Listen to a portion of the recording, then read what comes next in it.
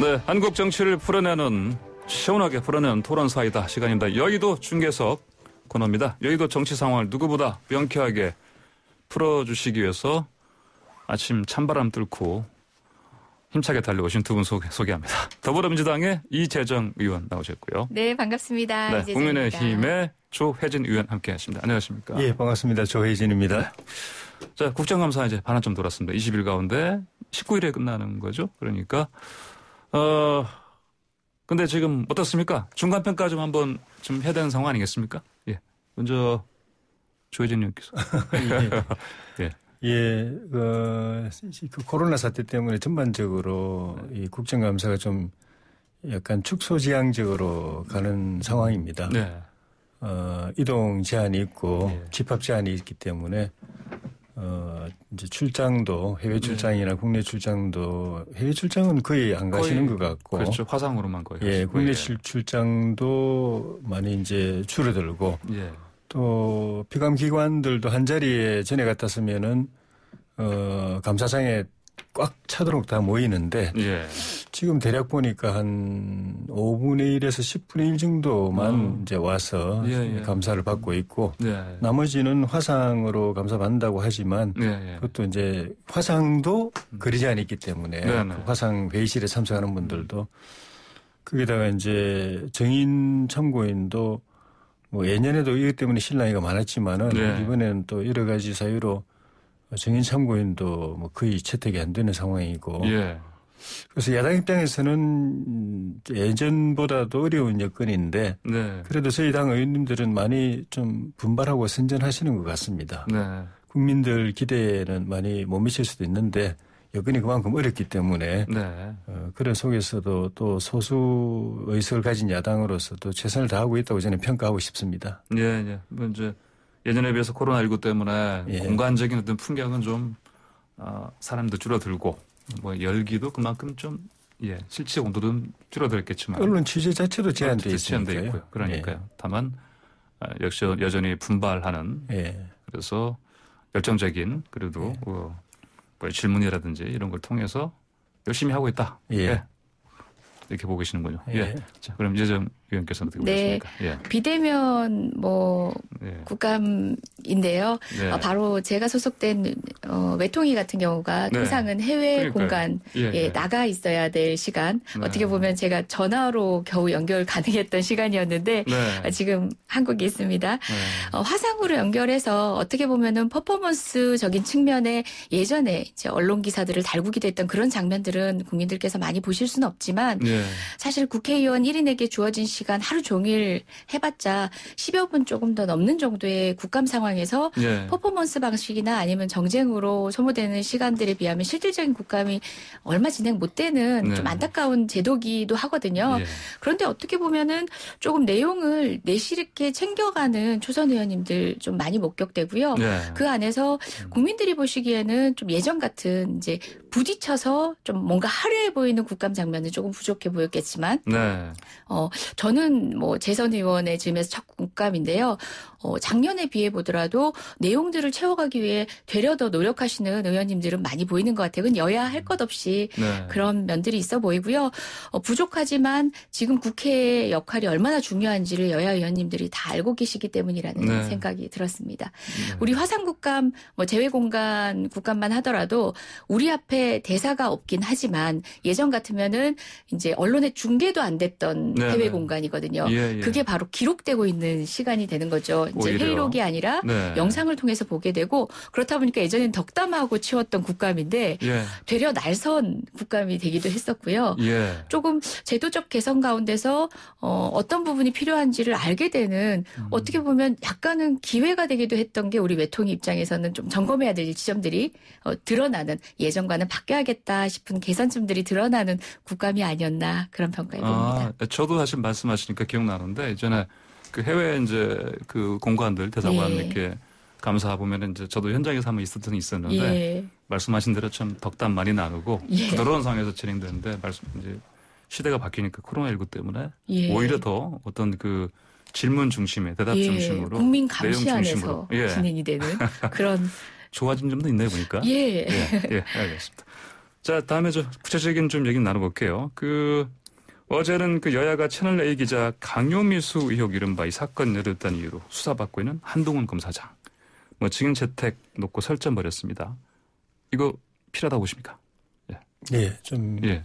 필요하다고 보는데 처음에는 이 사건이 채널A 기자하고 한동훈 검사장이 서로 어, 사건을 만들어 간 것처럼 그렇게 돼서 네. 명칭도 검언유착 예. 이렇게 명칭이 붙었었는데 사건 진행 또 수사 경과에 따라서 예.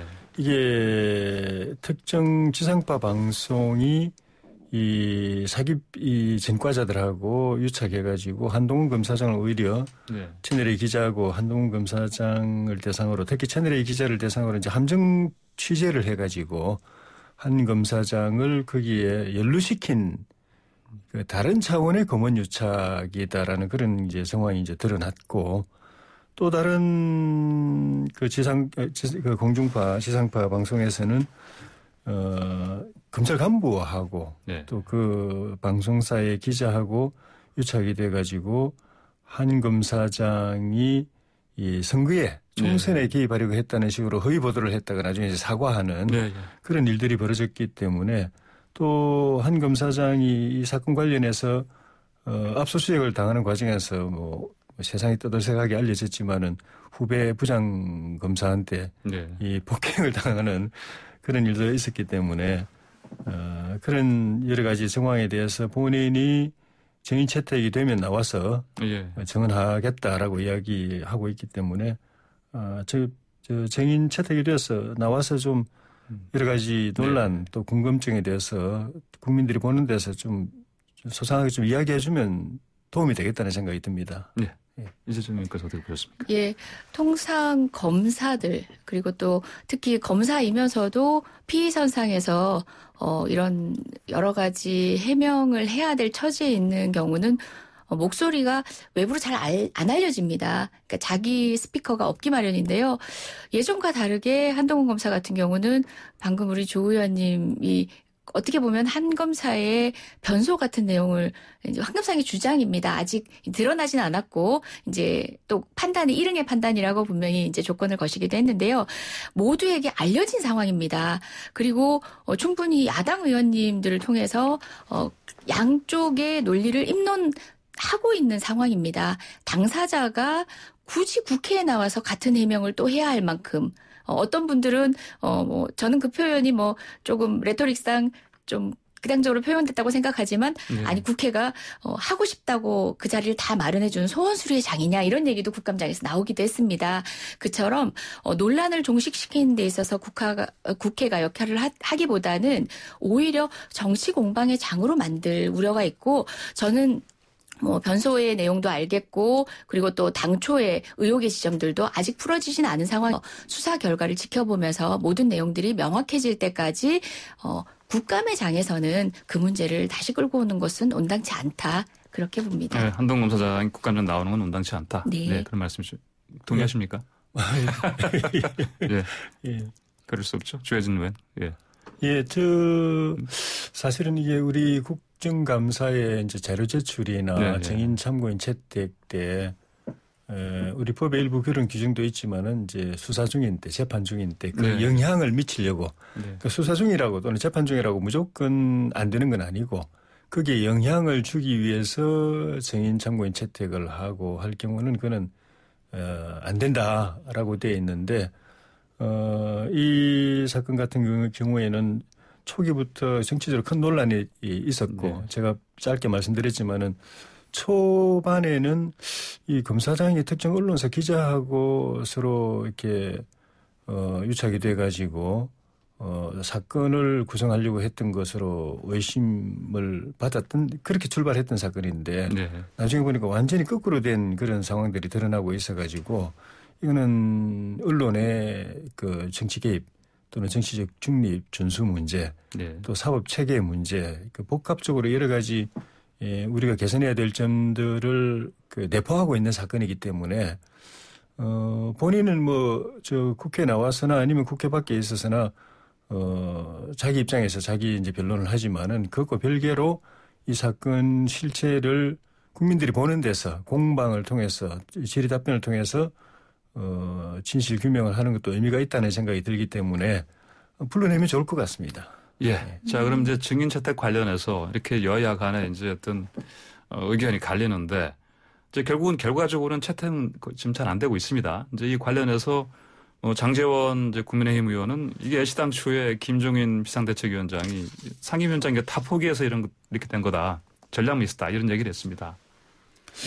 처음부터 그때 기억하시겠지만은 우리 원내 협상할 때 원구성 협상할 때부터 어, 조영 원내대표는 음, 법사위원장 우리 반드시 우리 것이니까 확보해야 되지만 예. 하다가 그게 안 될 경우라도 나머지 원래 우리가 담당했던 상임위원장은 그것대로 우리가 확실히 확보해야 된다. 예. 전수 아무리 전술이라고 그러지만 그걸 갖다가 저쪽에 넘겨주는 일은 그거는 안 된다. 자기적으로 볼때 그거는 우리 당의 예, 손해다라는 게 조호영 원내대표의 입장이었고 예. 어, 저 김종인 비대위원장님 같은 경우에는 원내 사안에 대해서 그렇게 적극적으로 자기 의사를 표명은 안 했지만은 예. 알려진 의견 입장은 어, 명분 싸움에서 밀리면 안 된다. 법사위가 야당으로서 존립의 핵심 열쇠 역할을 하는 자리라고 한다면 그거 안 되면 나머지 상임위원 자리도 의미가 없다. 그거 다 그냥 줘버리자. 네. 아, 그게 명분 있는 행동이다. 라는 입장에서 차이가 있었죠. 근데 장정원 의원은 처음부터 주호영 원내대표와 같은 생각이었고 예. 그- 그렇게 해서 이제 결국은 우리 상임, 저 전체 상임위원장을 여당이 가져가게 됐는데 국정감사하면서 정인 채택 문제 또 자료 제출 문제 여러 가지 사안이 어, 그대 여당에 밀려가지고 제대로 여- 야당의 의사가 반영이 안 되는 상황이 되니까 다시 그, 그 이야기가 나와서 예. 그- 그때 우리가 그냥 우리 상임위라도 그대로 그 확보했었더라면은 우리 의원이 위원장으로 있는 그 상임위라도 정인 참- 참고인 채택 제대로 안 됐겠느냐. 예. 또 정부가 자료 제출 계속 피하지 못하지 않- 않았겠, 않았겠느냐. 음. 이런 이야기가 나오면서 또 다시 장재현 의원이 한마디 또 예. 했습니다. 예. 그렇군요. 예. 그 앞선 얘기에 짧게만 반박을 먼저 하고 지금 방금 어, 상임위원장 관련된 얘기를 이어가 보면 하는데요. 예. 그 한동훈 검사장의 검언유착이라고 어, 당시에 문제 제기 됐던 내용이 아직 정리된 단계가 아닙니다. 한동훈 검사장 입장에서는 본인이 더 억울하다, 본인도 피해자다라고 변소를 하고 있지만 그 내용들은 아직도 수사 중인 거고요. 어, 그렇기 때문에 되려 어, 그 내용을 국회로 끌어오는 것은 어, 국감장 정말 여러 다른 소중한 이슈들이 치열하게 다퉈야 되는 다른 이슈들을 음, 정말 어, 블랙홀처럼 빨아들이는 네. 그런 정쟁 요소가 될 것 같다는 이야기 다시 정리해서 말씀드리고요. 상임위원장 같은 경우는 사실 모두 가져오게 되는 저희 당으로서도 아주 부담스러운 일이었습니다. 반길 일이 아니었습니다. 왜냐하면 책임져야 되는 일이거든요. 네. 어, 여야가 책임을 나누었을 때 어, 일이 또 합리적으로 되기도 하고 또 우리 여당 입장에서는 그 무거움이 덜해지기도 합니다. 예. 그 얘기는 지금 현재 상임위원장을 다 가지고 있다고 해서 여당 마음대로 할 수 있다라고 자족하고 있는 게 아니라는 겁니다. 우리가 책임져야 되는 그 결과 책임을 진 여당으로서는 하나하나의 판단에 정말 국민의 어, 일상적인 시선을 느낄 수밖에 없고 네. 결과에 대해서 항상 의식하고 있다는 얘기죠. 우리가 한번 돌이켜 보면은 상임위원장이 나눠져 있다고 해서 자기 당 상임위원장이 있는 곳에 그 당의 증인을 관철시키기가 더 좋았다. 이전에 국감 내에서 그렇지 않았거든요. 증인 채택 여부는 올해도 예년과 다름없이 좀 무리한 주장의 증인들은 함께 어. 덜어내고 또 때로는 각 당의 입장에서만 주장을 하는 것을 타협을 해서 들어주기도 하고 어, 통상의 경우와 다르지 않습니다. 예. 외형상으로 아마 상임위원장이 어, 여당이 모두 이제 여당 소속 위원장이다 보니까 어, 그런 불리하다라는 이야기가 나왔겠는데요. 전반적으로는 장재현 의원님의 그리고 또 주호영 의원님의 판단이 저는 맞다고 봅니다.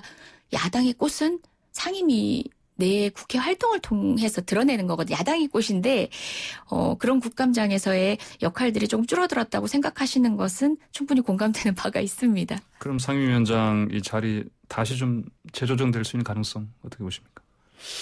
그 가능성을 김종인 위원장 네. 또 우리 조영훈 내 대표가 어, 이낙연 대표 새로 취임하셨을 때 예. 한번 그 운을 띄워봤죠. 예.